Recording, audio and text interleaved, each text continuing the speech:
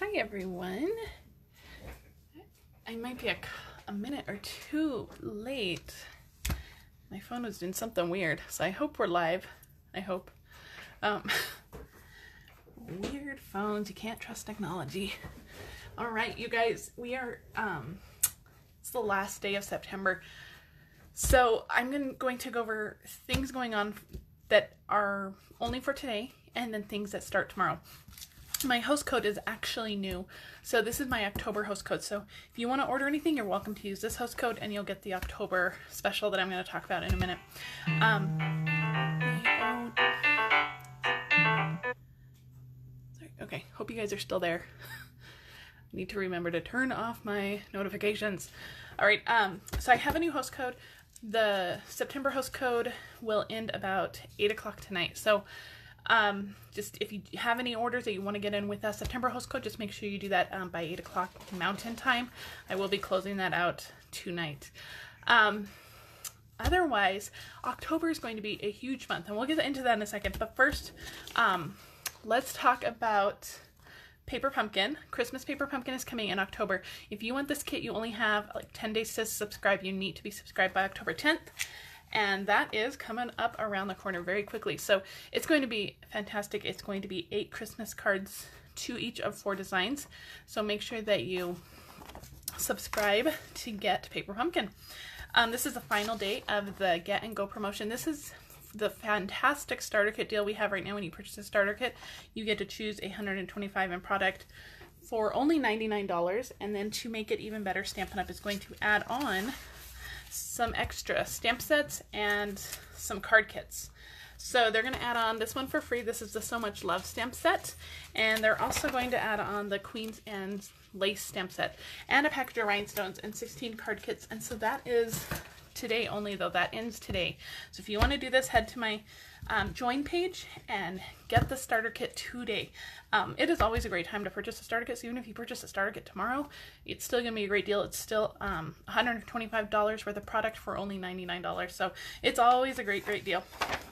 Starting tomorrow though, we have a designer series paper sale. I love our DSP and this sale I'm so excited about. So 15% off select designer series papers. There are a bunch of them too. Look how many there are. So this is a great time to stock up. There's some Christmas patterns. If you have your Christmas cards all planned out or designed, this is a great time to stock up on those. So look at all of this and um, this will all be on my blog tomorrow. I'll have a whole post with pictures and everything on my blog tomorrow so you can check out the designer series paper, paper sale more in depth tomorrow. This starts tomorrow you're not going to get that 15% off until October 1st. So tomorrow this starts. And starting tomorrow is Blendtober. Now this is my own thing. I am doing Blendtober. This is our Stampin' Blends. You know I love coloring with them. We're going to use them today actually. And in October, I'm going to give you a free set of Stampin' Blends for every $50 you purchase. So, and there's no limits. If you purchase $100, you're going to earn two sets of Stampin' Blends. Um, once you place your order in my online store and you must use the host code. Just email me with the colors you want. The blends will all ship out in November and I'm going to send them all to you as free gifts. So that is all that's going on, you guys. So much happening. So make sure you're finishing up with anything you need to finish today for September 30th. And then tomorrow we are starting a new month, new specials, new amazing sales. Okay, let's get to the card we're going to make today. This is the card we're making. It is so pretty. I just love this card. I I love the simplicity of it. I I just love it. This is an easy one to mass produce. So if you need to make a bunch of holiday cards, this is an easy and fun one to do. So let's go over the supplies real quick. So I have a piece of soft seafoam. This is our card base. This is five and a half by eight and a half, and it's been scored at four and a quarter. I have a couple scraps of Pear Pizzazz and Mossy Meadow. We're going to die cut our wreath from these, so just scraps. Scraps big enough for the wreath die. It's a pretty big die, so just scraps big enough. I have die cut this one. This is our stitch nested label die. I've die cut this out of white, and this is the second largest. So in the stitch nested label dies, this one is the second largest size. You absolutely could use the largest one if you wanted. Um, I think the size just works perfectly. It's about the width of that wreath. So I think the size was perfect. All right. So, and then I just have a piece of Poppy Parade, which is four and a quarter by one.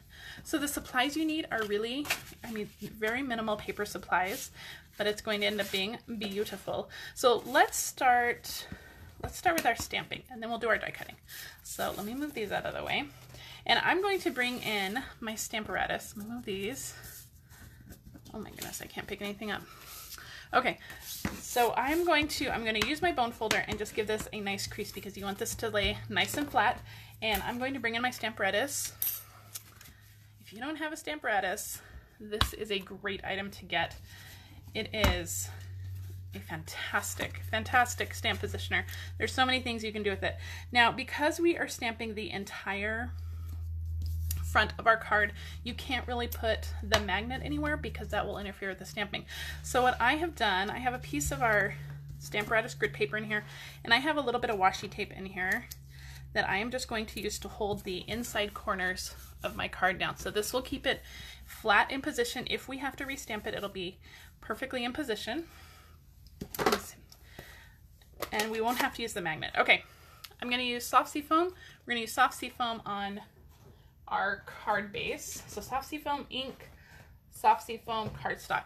And the background that we're using is the birch background. This is just a really fun one. I think it goes really well with the, with the wreath.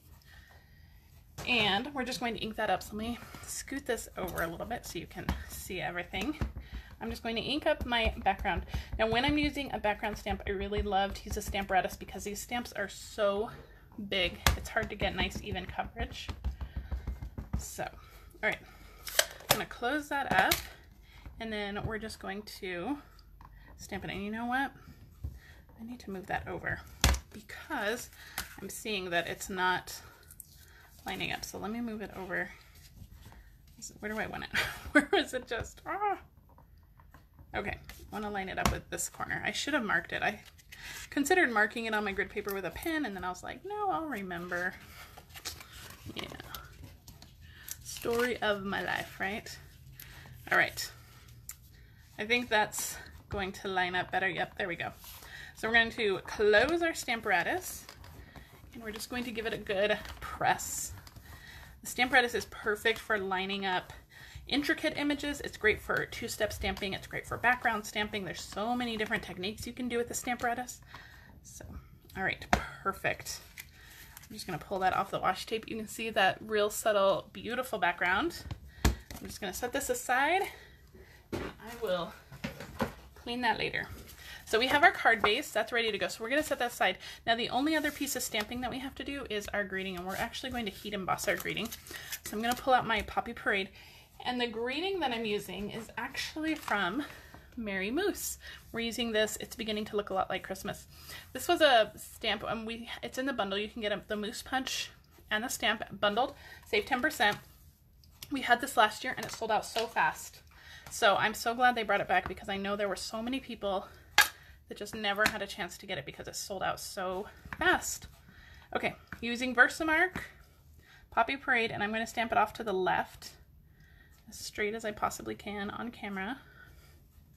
There we go.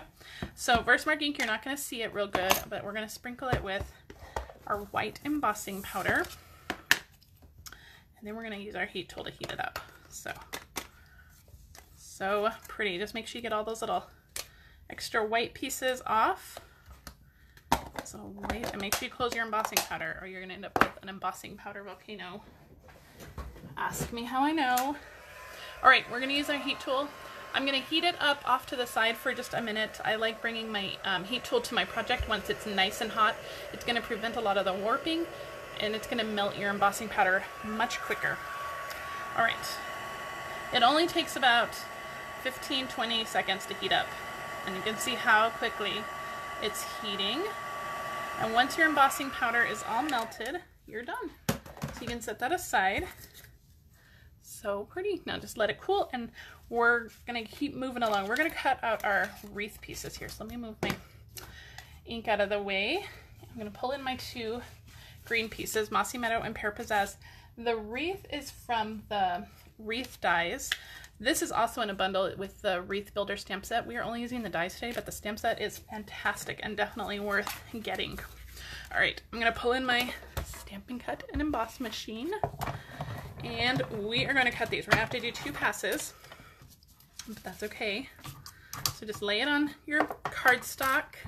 We're gonna run it through. If you need a new die cutting machine, this one is fantastic. I did a lot of die cutting and embossing this morning and I just love it. I love this machine. I love it. Okay, that's our Mossy Meadow piece. We're going to do our green piece. I know you probably can't see them off camera on the other side. We're just going to crank it through this way. So this is a pretty detailed die, and I'm only going through once. It is a pretty great machine if you need one. All right, I'm going to move my plates out of the way. The machine folds up for storage. Fantastic. And we'll set that aside. Okay, so pop out this centerpiece. This is great. It's a little scrap. You can punch some other leaves or something out of there if you want. We have our two leaves here. And so really all that we have to do now is assemble. So let's get our card all set. I'm going to use my Stampin' Seal. This card has no dimensionals, which is very unlike me. I don't think I can even recall the last time I made a card without dimensionals. So we're going to stick our our label in the middle. You absolutely could add dimensionals. You could always pop up the wreath or pop up the greeting if you wanted. But um, because we're kind of tucking it under one side, it's a little more challenging to add dimensionals. All right, now for our leaf die cut, you could use glue dots. I'm going to use my Tombow. That was a lot of glue. I'm going to use my Tombow and just kind of stick down some use some glue to stick it down in some areas. Now I'm going to, I'm going to make sure this little blob of glue goes on this side where it's going to get covered up because if it smears out, I want it to make sure that it's covered. Oh, and you know what? We need to put this down. Hello. Before we stick our wreath down, let's get some glue on this. Let's see. So we're not going to stick it down on both sides. We're just going to stick it under. We're going to stick it through the wreath. And before we stick it to that side, we're gonna add our other wreath. So same thing, we're just gonna add a little bit of glue. Now you could always use the adhesive sheets would also be great for this. You could use um, our fine tip glue pen or again, glue dots would also be great. Okay, now we're just going to lift this piece up, bring this over, and just lay everything down nice and flat. Just like that. I'm just gonna grab, while we finish up everything else, I'm just gonna grab a block, stick it on there, let all that glue dry while we get along with our next part. So I have a piece of our white crinkle seam binding and I need some grid paper. Let me grab, grab the grid paper from my Stamparatus because I didn't get any out magnets holding it down. All right, I am going to, this is a very well-loved piece of grid paper. We're going to color this. I don't want it to be white. I want it to be soft sea foam. So I have my soft sea foam blends. Let me move this out a little bit further. I have my soft sea foam blends, the light and the dark. I'm going to start with my dark one, and I'm going to use my brush tip. And I'm just going to, see, this is going to be hard to see on that. I'm just going to color that half. I'm going to flip it over. I'm going to color this half. I'm not not sure how much this is going to show up on the camera. This is a very light color. But we're just really giving this some depth. And I'm going to go back in with my light and I'm going to go over all of those spots again. So let me turn this around. And the white seam binding, the beauty of this is that you can just make it any color you want and it's nice and sheer so you don't have to color both sides. You can color one side. The alcohol markers do a great job of of soaking through. Okay, now I'm going to go back in with my dark. And this time I just want my dark kind of along the bottom. So I'm going to be very careful to just kind of do it along the bottom. I just want kind of an ombre look to this ribbon. So just along the bottom. And that should do it. All right, now while we're coloring with our Stampin' Blends, I wanted to add some little red berries to our card. So I'm going to take my Poppy Parade and I'm actually going to color some pearls.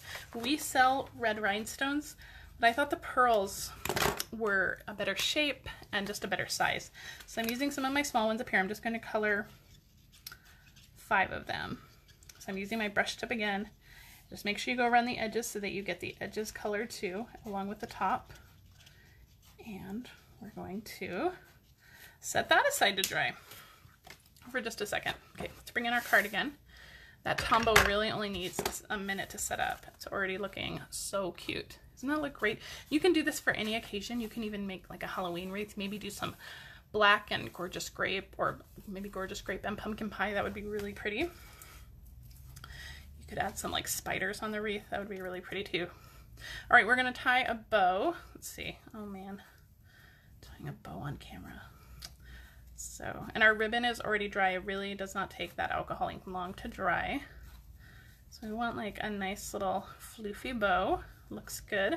And I'm going to use some glue dots. These are my paper pumpkin glue dots. Um, you can also use them off the roll. And this is just to go right down here. Then I'm going to grab my scissors and just trim up those ends just a little bit. Don't need such long ends. Just a little bit. There we go. And our final touch is our pearls. These are nice and dry by now.